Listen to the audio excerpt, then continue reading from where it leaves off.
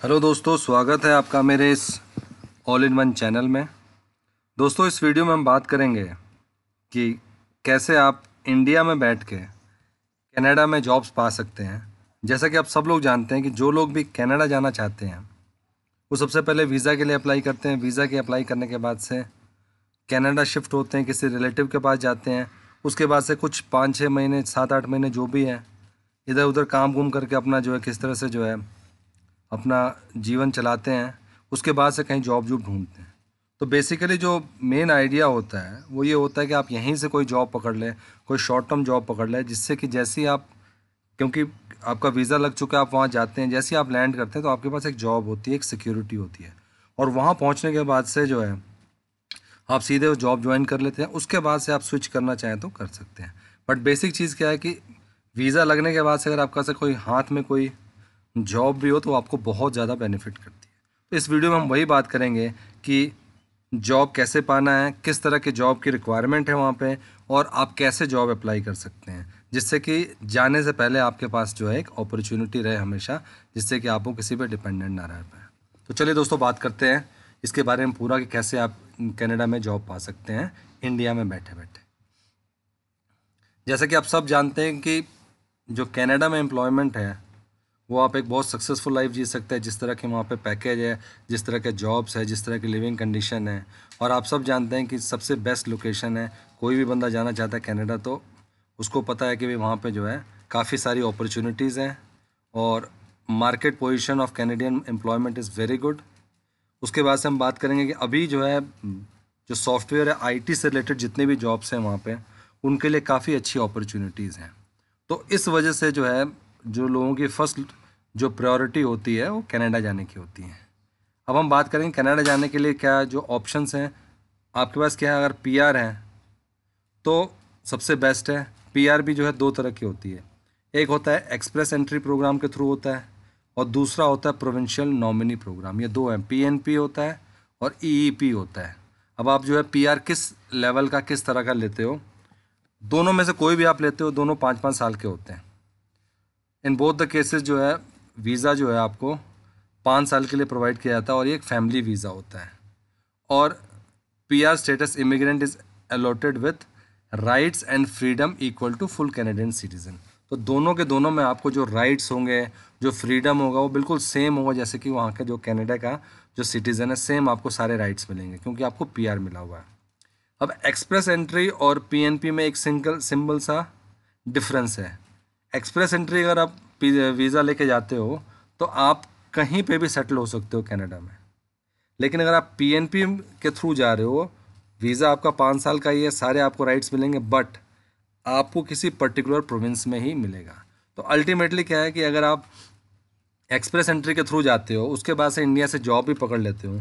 तो उस समय आपको ये रिस्ट्रिक्शन नहीं है कि मेरे को इसी पर्टिकुलर प्रोविंस में ही मेरे को जॉब चाहिए।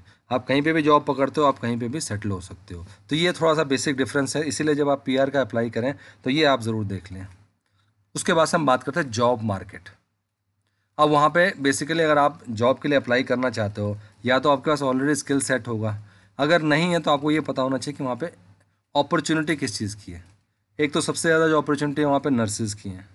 The job market for this profile is highly in demand और ये भी बताया है कि किस प्रोविंस में है। उसके बाद से दूसरा जो है सबसे ज़्यादा डिमांड में वो है इंडियन डेंटिस्ट वहाँ पे उनको इजीली कहीं पे भी सेटल हो सकते हैं, अगर आप अप्लाई करते हो। फिर सीए की बहुत ज़्यादा रिक्वायरमेंट है वहाँ पे। तो ये वो फ़ील्ड है, या तो आपको उसके लिए प्रैक्टिस करनी पड़ेगी। या अल्टीमेटली आपके पास डिग्री है, कुछ है तो आप डायरेक्टली जो है इन चीज़ों में अप्लाई कर सकते हैं।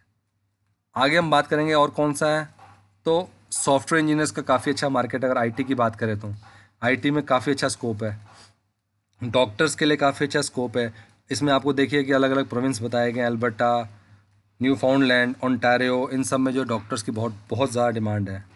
टीचर्स के लिए काफ़ी अच्छा मार्केट है। और लॉयर्स के लिए काफ़ी अच्छा है।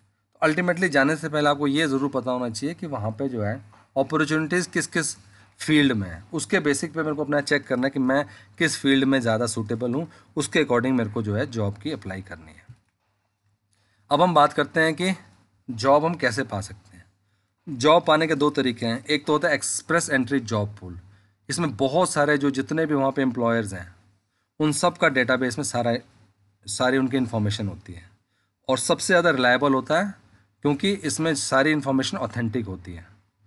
इसमें massive dot of employers who are looking for the right candidate to fill up vacancy in their companies और इसमें क्या है कि आपको जो है जितने भी ऑथेंटिक सर्च होगा और किसी भी कंपनी में आप सेलेक्ट होते हैं इस डेटाबेस के through then your employ will also submit an application for your immigration क्योंकि इसमें बड़े बड़े एम्प्लॉयर होते हैं। इस केस में क्या होता है कि अगर इसके थ्रू आप एक्सप्रेस एंट्री जॉब पूल के थ्रू आपका सिलेक्शन होता है तो उस केस में आपको बहुत ज़्यादा सहायता मिलती है क्योंकि आपका एम्प्लॉयर बढ़ा है तो वो आपके बिहाफ पे भी एप्लीकेशन सबमिट करेगा, जिससे कि आपका आना और आपके वहाँ जाके स्टे करना, आपका लैंड करना सब इजीली हो जाएगा और आप इजीली जो है जॉब ज्वाइन कर सकते हैं। दूसरा जो है, जो नॉर्मली जो है है ईजियर बट थोड़ा सा इसमें आपको क्या करना पड़ता है, अपनी भी छानबीन करनी पड़ती है। वो है आपका ऑनलाइन जॉब पोर्टल्स अब ऑनलाइन जॉब पोर्टल्स में क्या होता है कि सबसे ज़्यादा पॉपुलर है आजकल।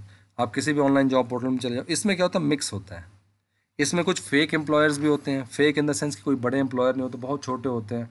हो सकता है जॉब का ड्यूरेशन आपका हो सकता है, एक महीने का, दो महीने का हो।